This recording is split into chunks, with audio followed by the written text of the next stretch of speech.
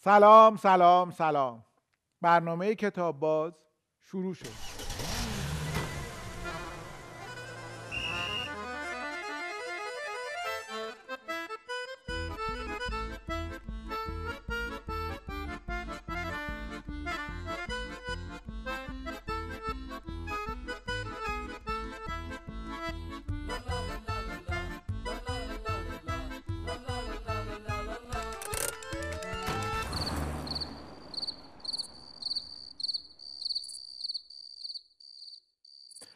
مسعود بربر نویسنده پژوهشگر و مدرس ادبیات داستانی به کتاب باز خیلی خوش اومدید سلام خیلی ممنونم. متشکرم که دعوت کردید. من و خدمتتون هستم. ارادتمندم. شما از یک سال پیش مقارن با ایام کرونا که فهمیدیم اینا یه برنامه شما در نظر گرفتید که الان دیگه معروف شده به 22 و 22 میشه توضیح بدید که این بله. چی بود فکرش از کجا اومد چجوری اینقدر مستمر و با دوام ادامه پیدا کرد؟ خواهش می‌کنم. من پنج سال پیش از این یعنی الان شیش سال پیش از این شروع کردم یک برنامه های داستانخانی رو در کافه کتاب کافه کتاب های تهران که اونجا داستان میخوندیم. یعنی من می‌رفتم نویسنده ای که دوستم بود یا میشناختم یا داستانش رو دوست داشتم دعوت می‌کردم میومد داستانش رو می‌خوند برامون. و با مخاطبان صحبت می‌کرد در مورد آثارش. گاهی هم نویسنده مهمان نبود خودم داستان میخوندم. هدف این بود که داستان بخونیم. نقد و اینا هم نبود. یعنی لذت داستانخوانی رو دوست داشتیم به اشتراک بذاریم این ادامه داشت پنج سال. یعنی هر هفته پنج سال ما حضوری جمع شدیم دوره هم داستان میخوندیم. پنج سال؟ پنج سال آره. پیش می آمد گاهی وقفه های بیفته ولی عمدتا برگزار می‌شد. تا خوردیم به کرونا و دیگه خب امکان برگزاری برنامه های حضوری نبود. نهایتا این رو به صورت آنلاین و هر شب. در واقع اینطوری شد که خب من روزانه داستان می‌خونم روزانه یا هر شب حتما داستان می‌خونم. تصمیم گرفتیم خب چرا این داستان رو مخاطبان نخونیم. اون زمان اگر خاطرتون باشه اوائلی که کرونا آمده بود حتی هنوز شرایط قرنطینه ابلاغ نشده بود. خیلی ترسناک شاید بود. خیلی مثلا همه مردم در شوک بودن. سخت بود تو خونه موندن. هنوز عادت نکرده بودیم. ما فکر کردیم که شاید مثلا این برنامه کمک کنه کمی به در خانه موندن. برای کسایی که حالا علایق دیگری ندارند به داستان علاقه دارن شاید این با هم داستان خوندنه بار قرنطینه رو سبکتر کنه. برای خود منم که داستان خونی بود. یک سال شما هر شب بله. ساعت 22 و 22 دقیقه به صورت آنلاین دارین داستان. بله دقیقا. خب آخه این استمرار خیلی سخته. شما تو طول این یک سال بعد همیشه هر شب این ساعت آزاد باشید. نمی‌دونم اگه برنامه هست این ساعت خالی بذارید. نمی‌دونم اگر حالا با اعضای خانوادهتون می‌خواین صحبت کنید این ساعت در نظر بگیرن. تلویزیون نبینید مریض نشید نمی‌دونم. هیچ یعنی همه برنامه ها باید جوری باشه که ساعت ده و 22 دقیقه شب شما در خدمت این کار باشید و این خیلی سخته. راستش من این کار دوست دارم. یعنی در بین شرایط نفسگیری که حالا به حال در زندگی خیلی از ماها ممکنه وجود داشته باشه سختی هایی که باش روبرو میشیم حالا سختی های اقتصادی اجتماعی یا هر چیزی مجال تنفس من داستانه. یعنی من به داستان پناه می‌برم همیشه. نظر بیشتر توضیح میدیم آره چرا که نه. ببین ما زمانی که داستان می‌خونیم از دریچه دید دیگری به دنیا نگاه می‌کنیم. انگار به قول رامبد خانلری به نویسنده میگیم که ذهن تو قرض بده من دوری باش بزنم. و میریم با ذهن نویسنده دوری می‌زنیم. این اولا باعث میشه از این جایی که هستیم کنده بشیم. یه جای دیگه یک زمان دیگه یک مکان دیگه باشیم. این خودش یک تنفسه. دومی که باعث میشه ما دیگری رو تقریبا بیواسطه تجربه بکنیم. یعنی ببینیم یک آدم دیگه چگونه زندگی می‌کنه این اصلا به افزایش مهر بین آدم ها کمک می‌کنه. یعنی من فکر می‌کنم آدم هایی که داستان می‌خونن و داستان می‌نویسن اگرچه دشواری های بیشتری رو ممکنه در دنیای داستان تجربه بکنن که در حالت عادی آدم رو تجربه نمی‌کنن. اما آدم های مهربانتری هن احتمالا. آدم هایی که زندگی براشون سبکتره. بار هستی براشون سبکتره. و فکر سبکتره یا سنگینتره؟ سبکتره سبکتره به این معنی که آدمی که بارهای سنگینتری رو تجربه کرده دیگه بارهایی که برای دیگران سنگینه برای او سبکه. و یک چیز دیگه هم اضافه بکنم. ما خیلی از تجربه ها رو در زندگیمون وقتش رو نداریم که تجربه بکنیم. من نمی‌تونم در تمدن ایلام مثلا 1250 پیش از میلاد زندگی بکنم دیگه. من نمی‌تونم با ابوالفضل بیهقی هم کلام بشم. من نمی‌تونم به بزم نشستن رستم رو تماشا بکنم. در حالت عادی نمی‌تونم این رو ساز زدن رستم و سرود خوندنش رو نمی‌تونم بشنوم در زندگی عادی. خیلی از کارها رو به دلایلی که صلاح نمی‌دونم. من خب طبیعتا آدم نمی‌کشم. ولی به هر حال این یک تجربه انسانیه و داستان به ما این بخت رو میده که تجربیاتی رو که امکانش رو نداریم تجربه بکنیم و این از ما انسانهای آزادتری می‌سازه.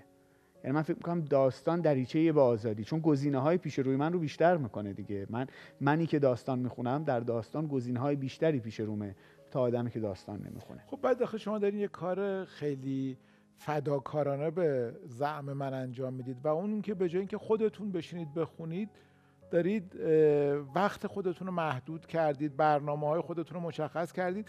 چرا احساس می‌کنید باید برای بقیه بخونید؟ یعنی چه لذتی در این هست؟ ببین دیدین حتما که فوتبالیستی که گل می‌زنه میدوه دستشو مشت می‌کنه شادی می‌کنه و دوست داره این شادیش رو از گلی که زده به همه نشون بده. نویسنده ها هم اینطورن نویسنده ها از نوشتن داستان خوب من واقعا پیش اومده صحنه نوشتم که پریدم و گفتم چقدر خوب بود. مثلا این این حالا شیفتگی حاصل اون لحظه است. ممکنه بعدا بشینم بازنویسیش بکنم مزخرفات چی نوشتی ولی اون لحظه حتما شیفته چیزی که نوشتم هستم. و شادی دارم می‌کنم. با همین شدت و حدت. گاهی با همین شدت و حدت. آره من شده بلند شم و مثلا نفسمو پرت کنم بیرون و آره میگم عجب چیزی بود. وقتی داستان خوب هم می‌خونم حالا ساده ترش کنیم. شما وقتی فیلم خوب می‌بینید دوست نداری در موردش با دیگران صحبت خیلی بکنی. خیلی دوست داری دیگه نه؟ داستانخانی آنلاین به من این بخت رو میده. که داستانهایی که دوست دارم داستانهایی که میشنوم. حالا ممکنه یکیش خوب باشه ممکنه یکیش هم خوب نباشه. ولی بالاخره با تنوعی از داستانها روبرو میشم این گونه. این فرصت دارم که با نویسندهش صحبت بکنم بگم چطوری این داستان نوشتی. او از شوقش در مورد داستانی که نوشته برای من بگه. من با شوق اون نویسنده در نوشتن داستان شریک بشم و مخاطب با هر دو ما شریک بشیم. مخاطب ثابت پیدا کردید. بله بله. ما یک فکر می‌کنم جمع مثلا 60 70 نفری داریم حداقل که هر شب در برنامه هستن ثابت. تقریبا هر شب آره آره بعضی از دوستان میگن که آقا ما مثلا برق خونه من خودم برنامه رو با بی برقی هم اجرا کردم. یعنی برق رفته شم روشن کردم. نمی‌دونم اتفاقا داستان ادگار کمی از بوده. تجربیاتتون و از بازخوردا بگید برای ما لطفا.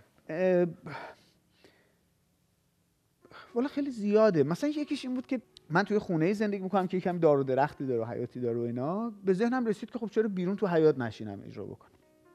و شروع کردم تو حیات نشستن برنامه رو اجرا کردن. یه درخت بید مجنونی هم پشت سرم تکون می‌خورد. بله. خیلی منظره دلچسبریه دیگه. اگرچه شب بود ولی خب به حال دیده میشه. دیگه شب در حین اجرای برنامه بودم. چنان رد و برقی زد. چنان رد و برقی زد. و من می‌دونم که فاصله تصویر و صدای رد و برق رو بشموری می‌تونی به فاصله واقعی رد و برق برسی. فاصلهش کمتر از مثلا نیم ثانیه بود. یعنی یک چیزی هلوش مثلا قاعدتا سی چل متری ما بود اون رد و برق. یعنی ممکن بود اگه من تو حیات نشسته بودم اون رد و برق بزنه به من دیگه. از اون موقع دیگه نرفتم تو حیات بشینم اجرا کنم. تو خونه اجرا کردم. و اون لحظه تصویر من رو رولا نگر می‌دید این چشمای گرد تا چند لحظه وسط داستان مبهوت و ساکت شدم. چی بود؟ چرا اینطوری شد؟ بارها پیش اومد برق قطع بشه که با شم اجرا کردیم. خیلی هم اتفاقی مثلا شبایی که ادگار لمپو میخوندیم برق قطع می‌شد. مناسب می‌شد. داره فضا مناسب می‌شد. شبهای زیادی متاسفانه اینترنت اذیتمون می‌کرد. این شاید تلخترین تجربه من همشانین باشه. شبی بود که شبهایی پیش اومد که انقدر اذیتمون می‌کرد که مجبور می‌شدیم برنامه رو متوقف بکنیم. قسمت بعدش فکر کنم فقط این بود. الان اینا یادم میاد. حالا احتمالا شما مدرس داستان نویسی هم هستید داستان نویسی در واقع هنر اکتسابی یا ذاتیه؟ ببینید اون تیکه ذاتی اگر وجود داشته باشه هم قاعدتا آموزش دادنی نیست. یعنی من مدرس داستان نویسی نمی‌تونم به شما ذات یاد بدم. نمی‌دونم شاید شما باید برید پیش مثلا مدرس مثلا نمی‌دونم چی یه چیزی که ذات شما رو تغییر بده. من فکر می‌کنم داستان نویسی مثل هر هنر دیگری اگر سویه ذاتی داشته باشد که من نمی‌دونم این رو حتما سویه اکتسابی مهارتی هم دارد. یعنی شما ممکنه ذاتا نقاش خوبی باشید. اینو نمی‌دونم من که داریم چنین چیزی نه. ولی حتما برای اینکه بتونی چشمانداز رو پرسپکتیو رو اینا رو در بیاری خب باید یه چیزایی یاد بگیری. ابزار کارت رو باید بهش مسلط بشی. باید بدونی با چه قلمی چی می‌تونی بکشی. من نقاشی بلد نیستم واقعا. تو موسیقی شما اگر مثلا گام ها رو نشناسید فاصله نوت ها رو نشناسید هارمونی بلد نباشید کنترپوان بلد نباشید احتمال اینکه آهنگ خوبی بسازید خیلی کمتر میشه طبیعتا. احتمالا اگر شما ذهن موسیقایی خیلی خوبی هم داشته باشید باز برای اینکه اثر موسیقایتون بهتر بشه باید به یه اصولی مسلط باشید. من معتقدم داستان هم کاملا چنین چیزیه. داستان حتما جنبه مهارتی داره و حتما نیاز به آموزش داره. آخه یه عده ای هستن که خیلی با کلاس های داستان نویسی موافق نیستن. در مقابل عده هستن که موافقن. بعضیا میگن که کلاس نداره که. آدم باید بنویسه بنویسه بنویسه خط بزنه. کلاس خواندن میشه بهترین کلاس. بعضیا میگن نه اصولی داره. کدوم درسته؟ والا این رو اجازه بدید من در جایگاهی نیستم بگم که کدوم روایت درسته. روایت من نظر بله. من اینه که اولا خواندن خیلی مهمه. بله. داستان نویس باید تا می‌تونه بخونه. روزی 10 تا 20 تا شاید داستان کوتاه باید بخونید. هفته ای دو تا رمان باید بخونید تا بتونی اون چند ساعتی که می‌نویسی هفته ای ببین شغلته دیگه. اون اون ساعتی که داری رمان می‌خونی ساعت کاریته. میشه جسارتا هم بپرسم شما در روز چند ساعت مطالعه می‌کنین متوسط. من تقریبا تمام ساعت کاری روز رو دارم مطالعه می‌کنم. یعنی اگر در حال نوشتن نباشم حتما در حال خوندنم. مگر در حال متابولیسم باشم یعنی بخورم و مثلا کارهای دیگه بکنم. یعنی روز تقریبا مثلا 7 8 ساعت بیشتر حتما بله. بیشتر از 8 ساعت حتما می‌خونم می‌نویسم. اون رمان در واقع مرسایی که از آن گذشتی رو من 5 تا 9 صبح نوشتم به مدت حدود یک سال. هر روز. 5 تا 9 صبح. آره من 5 تا 9 صبح می نوشتم چون بعدش باید اون زمان خبرگزاری کار می‌کردم خبرنگار بودم. حتی اونم نوشتم بود به حال. و برای اینکه اون مرتب کار کردن زیر سوال نره من معتقدم که داستان نویسی شغله. شما اگر بقالی بزنی هفته یه بار هر ساعتی دلت خواست بری کرکره رو بدی بالا احتمالاً بقال موفق نمیشی. ممکنه از همه یه دفعه خیلی خوششون بیاد خیلی موفق بشی من نمی‌دونم ولی معمولش این نیست. خب داستان نویسی هم این چنینه. شما باید هر روز بنویسی مثل یک شغل بهش نگاه کنی مثل یک شغل نیاز داری ببینی بقیه دارن چیکار می‌کنن. داستان نویسای هم دوره تو. استادان این حوزه بزرگانی که تو این حوزه کار کردن چیکار کردن؟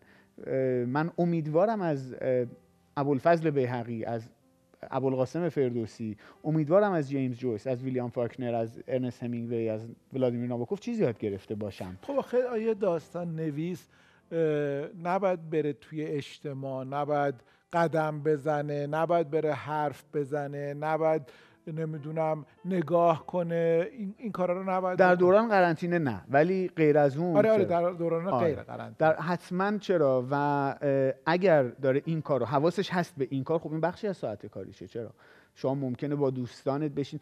باز در مورد همون رمان که این, این رمان رو بر من امضا می‌کنین به من حتما چشم. آره. خیلی خوشحال اون در مورد مثلا مهاجرانیه که به از آب و جنگل و کوه و اینا گذشتن مثلا برن یه شرایطی رو بر خودشون فراهم بکنن که فکر می‌کردن بهتره. و خب من ساعت ها پای صحبت اونایی که این مسیرها رو طی کردن نشستم. من هیچ وقت از ایران بیرون نرفتم اونجا. کل چندین صفحه چند شاید چند ده صفحه چند صد صفحه به فضاهای خارج از ایران اختصاص داره. حتما ساعت های من با آدم های معاشرت کردم برای نوشتنش. حتما اگر من داستانی دارم که توش قراره مثلا دو نفر در یک کافه بشینن روبروی هم صحبت کنن من باید برم فضای کافه رو ببینم. اینا بخشی از ساعت کاری ولی جدای از این راستش همونطور که یک مثلا فیزیکدان موقعی که اصلا اصلا کار نمی‌کنه سر کار نیست. سر شام نشسته داره غذا می‌خوره. ممکنه حواسش به نیروی جاذبه یا مثلا اون میزان انرژی که با بالا بردن انرژی پتانسیلی که با بالا بردن قاشقش ایجاد میشه داره فکر می‌کنه ناخودآگاه. داستان نویس هم اگر داستان نویسه یاد می‌گیره که اگر با آدم ها معاشرت می‌کنه. مونتا به هر حال خب منم همونطور که ساعت کاری دارم ساعت غیر کاری دارم. من بسیار سفر می‌کردم تا قبل از این شرایط کنونی. خیلی خیلی سفر می‌کردم. جاهای مختلفی رو می‌دیدم. اغلب نقاطی که توصیفشون می‌کنم در داخل ایران حتما تقریبا همشون جاهایی که دیدمشون.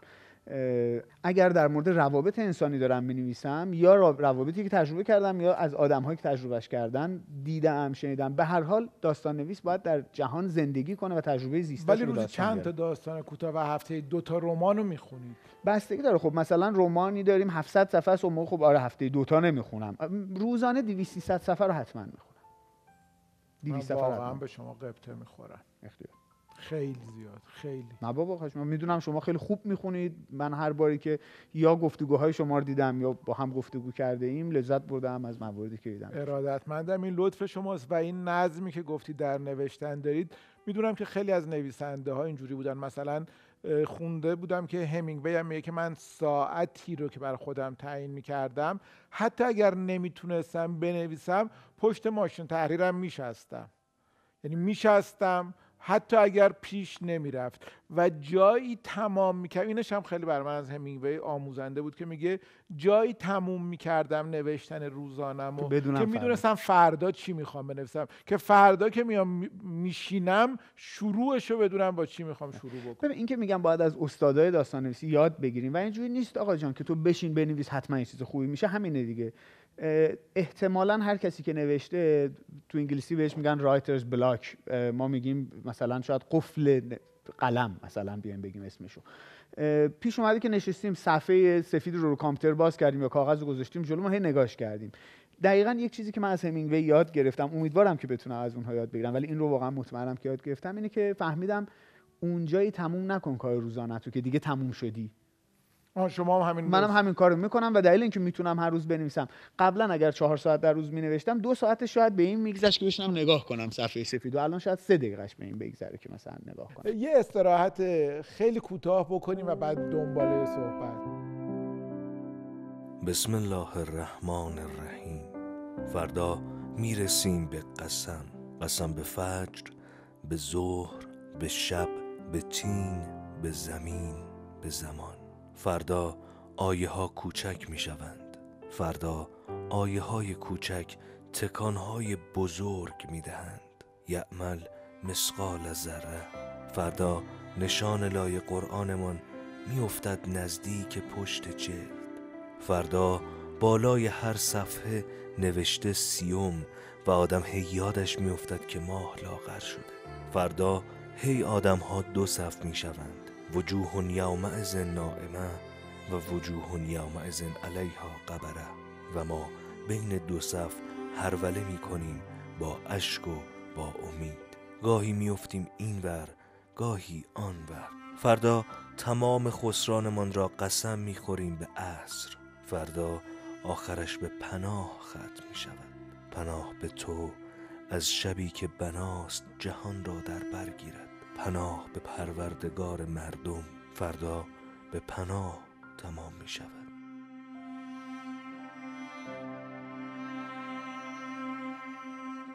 آقای بربر خودتونم عادات و آداب خاصی برای خوندن و نوشتن دارین؟ مهمترین عادت و آدابی که برای خوندن دارم اینه که خب من نویسنده در آغاز راهم تازه دارم یاد می‌گیرم بنویسم.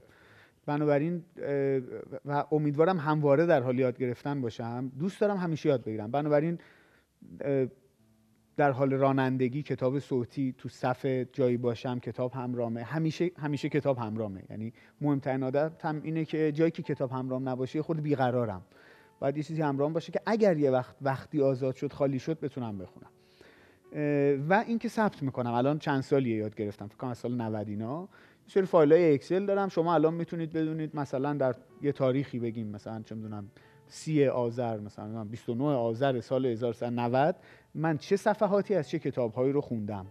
اونجا ثبت میشه. روزانه چقدر به اینا نمودار داره میانگین داره معلوم میشه من در ماه در هفته در سال کجا زیاد خوندم کجا کم خوندم مثلا کی داستان خوندم کی تعلیفی خوندم کی ترجمه خوندم. کی زیاد می‌خونین کی کم می‌خونین الان پیدا کردین به بحران ها و چالش های زندگی برمیگرده. ولی آره مثلا فروردین همیشه زیاد خوندم شهریور معمولا زیاد خوندم.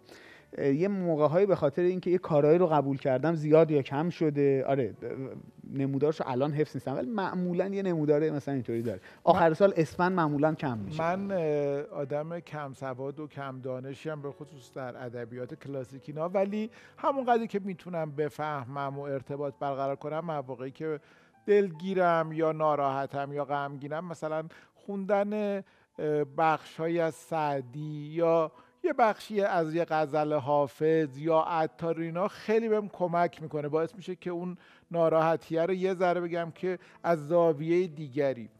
بعد من سالها می‌رفتم کتابخونه عرس باران با دوستم ایمان صفایی و مثلا اگه یه روز می‌دید که من خارج از اون کیفم کول پشتیم حافظ دستم می‌گفت که امروز چیزی شده. ها گفتم که آره می‌دید دم دست دیگه یه روز وارد کتابخونه شدم حافظ و گلستان سعدی و مصنوی و عطار همه دستم بود. گفت وای چه بلایی سرت آره، اومد. آره. معلومه که بس خیلی دقیقا پناهمونه دیگه دقیقا. آره, آره. یه که اضافه کنم اینه که من الان حتما تو کتاب می نویسم highlight می‌کنم با رنگای مختلف چیزهای مختلف. مثلا عددهای رنگ سالهای رنگ نویسنده یه رنگ توی کتابی که دارم می‌خونم. یادداشت هم که بعدا که خواستم برگردم نگاه کنم با یه نگاه بتونم بفهم این کتاب چی بود چیش مهم بود و فقط ادبیات داستانی می‌خونید یا حوزه های دیگه راه هم می‌خونید؟ ببین یه زمانی از هر چیزی شاید گیرمون میومد می‌خونیم ولی من الان خب دوست دارم در حوزه تخصصم بخونم. مثلا احتیاج پیدا نمی‌کنید که جامعه شناسی یا فلسفه. به خصوص وقتی دارم داستان می‌نویسم ممکنه داستانی که دارم می‌نویسم در مورد چه می‌دونم حشره شناسی باشه در مورد تاریخ باشه به خصوص. ممکنه در مورد مثلا یه داستان پلیسی باشه باید فرایندی که تو کلانتری اتفاق میفته رو بدونم چیه. بخشش ممکنه آره جامعه شناسی باشه روانشناسی باشه. من برای اینکه یک شخصیتی رو بسازم مثل یک آدم زنده در داستانم باید روان اون آدم رو بشناسم و این یه تخصصه. تخصص من نیست در به فراخور کاری که دارم نویسم حتما نیاز دارم که چیزهای دیگه هم بخونم. ولی حتما در ارتباط با داستان از منظر داستان دارم می‌خونم.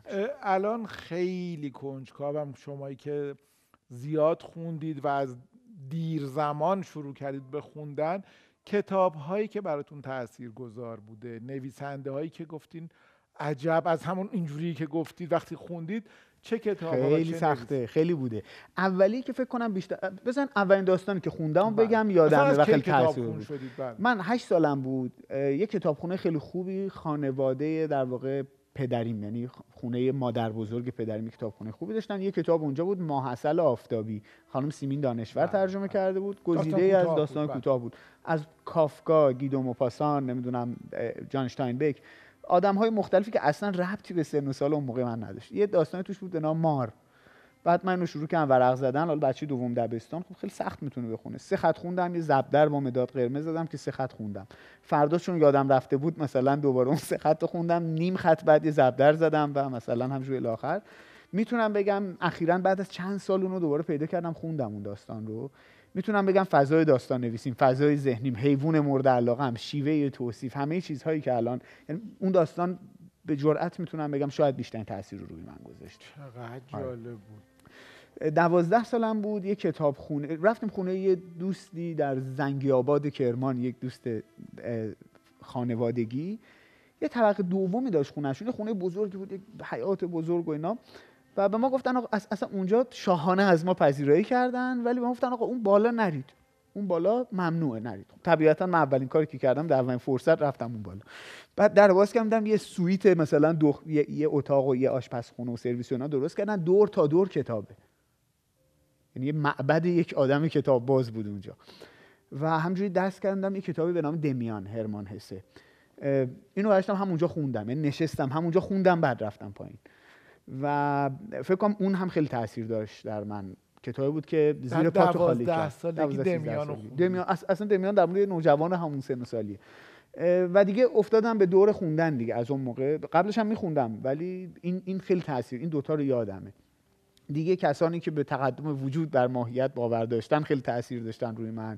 کسانی که خیلی ها بودن خیلی می‌شد. هر چی اسمی آره. میاد بگید از نویسنده هایی که مثلا دوست دارم اسم آره، ببرم آره، حتما. اولا من ادبیات کهن ایران رو بیش از هر چیزی دوست دارم. یعنی اگر خدا نیاره اون روزو یه روزی من مجبور باشم با یک کتاب برم در یک جزیره برای همیشه شاهنامه فردوسی رو می‌برم. تاریخ بیهقی رو خیلی دوست دارم. دو تا کتاب که گفتیم با نه نه یک کتاب اونو می‌برم. حالا بعد از اون دیگه چی بله. دوست دارم؟ تاریخ بیهقی رو خیلی دوست دارم. نمی‌دونم.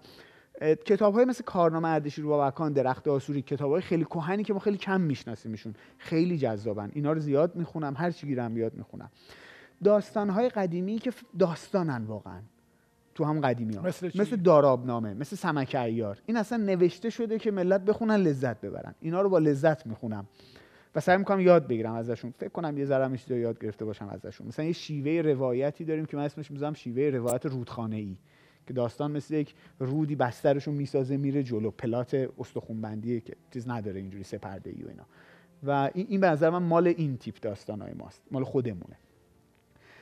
از خارجی ها بخوام بگم حالا غیر از زده بود بله، بله، خودمون بله، خیلی دوست دارم. مثلا من جیمز جویس رو خیلی دوست دارم. جیمز جویس دوبلینی ها رو دوست دارم. نه مثلا اولیس و اینا خوبن ولی جیمز جویس دوبلینی ها برخلاف همه که اولیس رو میگن من دوبلینی ها رو دوست دارم. چهره مرد هنرمند در جوانی. خوبه خوبه. چرا چرا؟ یک جمله داره آخر فصل دومش softer than sound or odor darker than soon of seem خیلی آوای اینو من به این خاطر به زبان انگلیسی گفتم چون خیلی چیزه خیلی صداهای سینی که توش میاد خیلی موسیقیش خیلی تأثیر گذاره و این ویژگی جویسه جویس رو زبانش کار می‌کنه رو موسیقی زبانش. سین. صداهایی که داره تصویری که می‌سازه. گفتین صدای سین یاد اون بیت معروف حافظ افتادم که صدای سین بله واجایی بله. رشته تسبیح اگر بکس است معذورم بدار دست من در ساعد ساقی سیمین ساق. بله. این که اصلا خیلی چیزا اینجوری داریم که در ادبیات کهنمون نمونه های شاهکارش رو داریم. یه چیزی بگم من تو داستان جهان داستان برام از هر چیزی جذاب تره یعنی دوست دارم داستانی رو دوست دارم که باعث شه من من برم تو اون جهان نفس بکشم. اون بو داشته باشه اونجا بو بکشم. پام زیر پام صفر باشه. مثل همینه که دارم میگم دوست دارم. اصلا نمی‌دونی چقدر آره. خوبه دارین هی اسم میارینا آره. ویلیام فاکنر رو دوست دارم بگم در این زمینه. و ببینید اینا که دارم میگم خیلی متفاوتن از هم. یه سری آدم همینگوی هن یه سری آدم فاکنری هن. من همینگوی و فاکنر رو دوست دارم. کافکا رو به خاطر فضای دقیقا شاید کابوسناک شاید عجیب غریب کاراش دوست دارم. همینگوی رو همینطور فاگنر رو همینطور. ناباکوف رو به خاطر تنوع بی‌نظیرش پس واقعا هم همینگوی هم چون واقعا آره آدما یه عده میگن مدل همینگوی مدل چی شما واقعا هر دو رو دوست دارم. اوایل فاگنری می نوشتم مثلا دوست یعنی تلاش می‌کردم الان بد نیست که هم بارسلونا هم رئال مادرید نمی‌دونم من چون من چون لیورپول رو دوست دارم نمی‌دونم. دو تا چه ربطی به هم دارن. آره. آره. ولی آره هم همینگوی هم فاگنر کافکا کندرا. کیو گفتم؟ ناباکوف رو گفتم. آره ناباکوف رو دوست دارم. به خاطر تنوع بینه ناباکوف یه کسیه که من فکر کنم خیلی دوست دارم ازش یاد بگیرم. آدمیه که هم جهان پردازی می‌کنه هم پلات داره. یعنی همه اون چیزهایی که دیگران دارن رو این تو داستانهای مختلفش داره. شما انگار با یک نویسنده با یک فضا مثل همینگوی مثل فاکنر طرف نیستی. با یک مجموعه ای از چیزها که به فراخور داستانش داره استخدام می‌کنه سبک خودش رو طرفین. و این خیلی جذابه و خیلی آموختنیه به نظر. یه نویسنده که کنجکاو شدم الان اگه اجازه بدیم بپرسم. بله. جونپا لاهیری دوست داریم جونپا لاهیری مثلا متر... خود داستان مترجم دردهاشو دوست داشتم. یه داستان داره که فکر کنم تو اسم داستان هم خدمتکار داره. یه خدمتکاریه که توی آپارتمانی داره کار می‌کنه و بهش تهمتی میزن اون داستان رو دوست دارم ولی اینکه بگم جونپا لاهیری مثلا نویسنده مورد علاقمه نه. ولی داستان خوبی داره. و کلاسیک های روسی رو چی؟ کلاسیک کلاسیک های روسی خب جذابیت خودشون رو حتما دارن هم تولستوی هم داستایوفسکی برام جذابن. ولی چخوف رو تو روس ها بیشتر از همه دوست دارم. پاسترناک رو به خاطر داستان زندگیش دوست دارم. یعنی چی داستان زندگیش؟ ببین پاسترناک کسیه که استالین بهش زنگ می‌زنه. و با این وجود این نه میره نه می‌ذاره میره. خب کتابش رو دوست نداشته حکومت جبار استالین که منتشر بشه. دکتر جیواگو. دکتر جیواگو رو. دکتر جیواگو اثری است در ستایش زندگی در ستایش زندگی بدون حاکمیت استالین. و طبیعتا دوست نداشتن روس ها که این چاپ حکومت روس دوست نداشته که این چاپ بشه. باب میل کمونیست ها نبود حتما. دو راه پیش روی پاسترناک است. یا بذاره بره یا تن بده به اینکه مثلا حالا داستانش نمی‌دونم حذف بشه نمی‌دونم بازنویسی بشه فلان. هیچ کدوم از این دو کار رو نمی‌کنه میمونه و میگه آقا من همینه داستانم. و اذیت میشه. کشمکشی داره. خیلی خیلی داستان شنیدنی داره زندگیش مثلا خودش یک یعنی از خود دکتر جیواگو خوندنی تر خود ماجرای نوشتن دکتر جیواگو و انتشارشه که درباره پاسترناک و زندگیش هم اصلا کتاب های زیادی بله. نوشته شده بله. اگر اجازه بدید بریم خواهش. سراغ کتاب ها که بله. شما توضیحی بدید در مورد بله. این کتاب ها اینم که بله. بر من امضا کنین چقدر خوشحالم. خیلی زیاد مرزهایی که از آن گذشتی مسعود بربر داستان فارسی نشر سالس کتاب 360 صفحه است. من دو سه سال پیش 5 تا 9 صبح نوشتمش هر روز در مورد آدمایی که به دنبال چیزهایی حالا هر چیزی که خودشون می‌دونن از هر چیزی که دارن میگذرن و هر خطری رو به جون می‌خرن. از دریا عبور می‌کنن از جنگل عبور می‌کنن و اینکه بعد با چه واقعیتی روبرو میشن چه زندگی رو تجربه می‌کنن. و یک آدمی که حالا عبور کرده رفته اونور به یه فعالیت یه کارایی داره می‌کنه این ور یه آدمی نشسته از دور داره نگاش می‌کنه و نگرانشه و داره تلاش می‌کنه با قصه هایی که براش میفرسته شروع می‌کنه قصه براش فرستادن. با اون قصه هایی که براش میفرسته یه چیزهایی رو نشونش بده. این داستان مرسایی که از اون گذشتیه. به به بهانه اون قصه هایی که داره میفرسته یک عالمه از قصه هایی که من دوست داشتم. از عاشقانه های مصر باستان از قصه های ادبیات کهنمون و اینا و اینا توی این کتاب هست. ممنون و متشکر اینجا خانه من است. کتاب عامه مسعود بربر. اینو 5 6 سال پیش مجموعه داستانی بود که نوشتم و من خبرنگار محیط زیست و میراث فرهنگی بودم سال سالها حالا چند سالی ده 15 سالی. یک چیزهایی آدم می‌بینه در فضای کاریش که در قالب گزارش شاید نگنجه. اینا رو در قالب داستان در بردم بعضیاش خیلی تخیلیه یعنی همه چیش وا- ولی حتما ریشه ای در واقعیت داره. داره. توش یه داستانی هم هست که یه آقایی یه خبرنگار میرسفنگی میره توی قاری تو اون قاره آدمی نشسته و میگه من هزار سال اینجا نشستم منتظرم تو بیای. و به زبان ابوالفضل بیهقی سخن میگه گفتگو می‌کنه با راوی داستان ما. و اون داستانم همجوری دوست داشتم بنویسم. بسیار ممنونم. ماهنامه همشهری داستان که واقعا از شماره یکش که در اومد خیلی تاثیرگذار بود. چقدر نویسنده داستان مطلب. واقعا هم شاید داستان در سیری که داشت که حالا دو بخشم هست. کادر عوض شد اینا. چقدر تاثیرگذار بود؟ همشهری داستان خیلی تاثیرگذار بود. من هم دوره اول هم دوره دومش رو دنبال کردم و هر از گاهی هم داستان براشون. بسیار عالی. کاندید یا خوشباوری ولتر ترجمه محمود گودرزی و نشر افق. اینو به این خاطر رو بردم بگم که من از ادبیات کهن گفتم. ما ادبیات کهن رو معمولا یه کتاب فاخری می‌دونیم توی کتابخونه. امروز فرصتی نبود. من خیلی دوست دارم بگم که لذت داستان رو باید معرفی بکنیم.